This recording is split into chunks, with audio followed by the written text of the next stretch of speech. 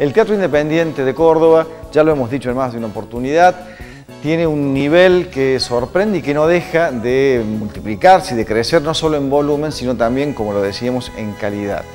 Vamos a ver ahora una entrevista que le hiciéramos a un elenco, a un grupo que está poniendo en este momento en escena una obra que se llama Los Ocho Hombres.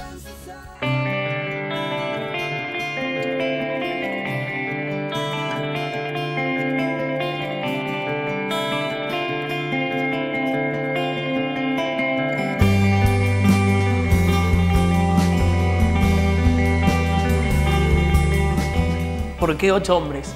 Eh, ocho de un ritual romano de sepultura, ocho hombres, ocho ahí que están llevando un cuerpo y bueno, y en base a estos ocho hombres, cuatro construyen la escena.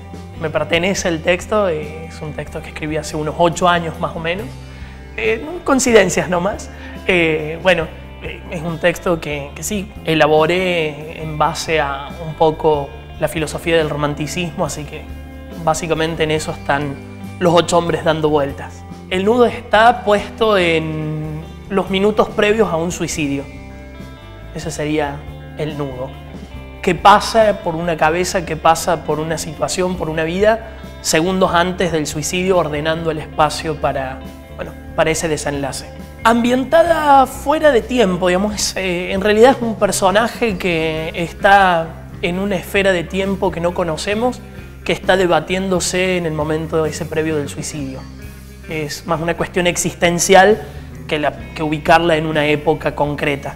Yo hago la dirección de la obra, el texto que me trajo Rafael hace mucho tiempo ya que veníamos debatiendo sobre ese texto y creímos que este justo era el momento para poder llevarlo a escena bueno, convocamos el elenco y definimos los lineamientos estéticos y ahí empezamos a desarrollar la obra. Y bueno, la estrenamos hace un mes aproximadamente en Espacio Urda, otro espacio, el espacio de elencos concertados, que inauguramos hace poquito tiempo, en agosto. Y ahí desarrollamos en un espacio no convencional la puesta para que se pudieran lucir aquellos arquetipos de personajes que nosotros necesitábamos desarrollar y contar esta historia que eh, es muy difícil y complejo poder contarlo porque nadie puede poder, nadie quiere contar la historia, pues si te vas a suicidar, te suicidas y después no sabes nada. Eh, entonces suponemos que hay eso en el imaginario de un suicida y lo llevamos a escena. ¿sí? Un trabajo del color, de las texturas, del formato del discursivo, de decir el texto, y allí están los ocho hombres en espacio burda hoy por hoy.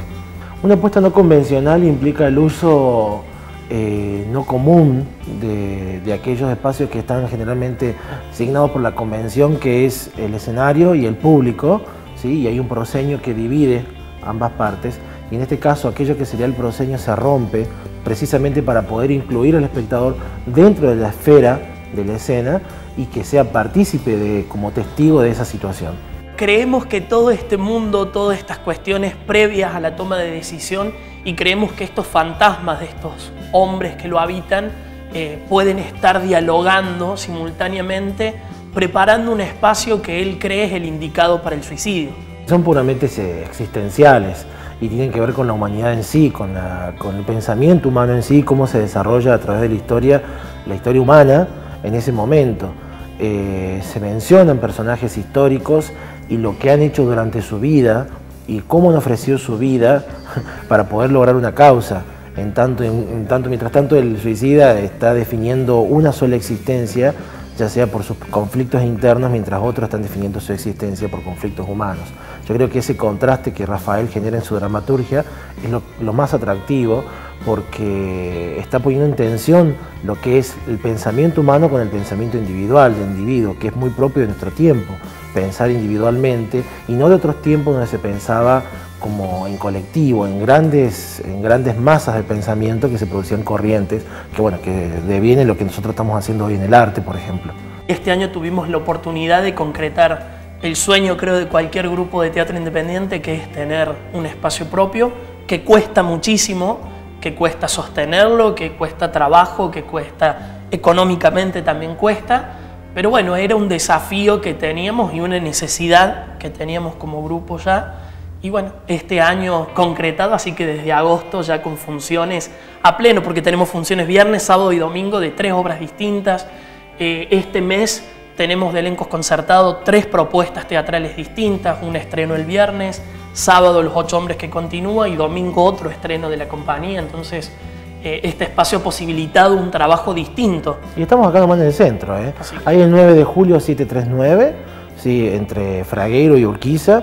Y bueno, y si quieren consultar por reservas, por charlar por, las actividades que estamos haciendo, tenemos un teléfono fijo que es 424-2110. Se comunican con nosotros o por la fanpage, Elencos Concertados o Espacio Urda Córdoba. Un argumento que nos introduce y nos ubica en medio de esos soliloquios donde nos cuestionamos justamente los aspectos más, más vitales de nuestra existencia, la que nos propone los ocho hombres a través de su puesta. Vamos a una pausa, la primera de esta noche, y enseguida regresamos.